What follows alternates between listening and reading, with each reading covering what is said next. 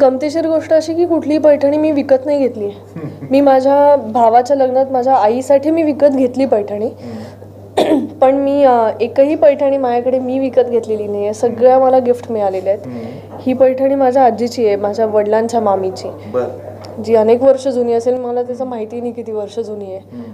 पण ही टिपिकल त्या काळाची पैठणी आहे. त्याच्यामुळे हे हे सगळं आता असं ते डल होत आहे पण ते खूप सुंदर आहे तरी. तेव्हा ते सोनं चांदीच्या तारात विणल्या जायच्या या पैठण्या. त्यामुळे पैठणीची आठवण माझ्यासाठी हीच राहील कारण प्रत्येक पैठणीची आठवण आहे. कारण ती कोणीतरी गिफ्ट केलेली आहे. एक मला होम मिनिस्टरला मिळाली आहे. एक मला शुभांगी गोखलेंनी गिफ्ट केलेली आहे.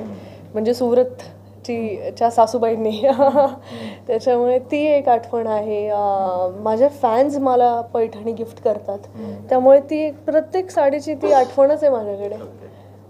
तर मी आता यापुढे ही पैठणी विकत नाही घेणार.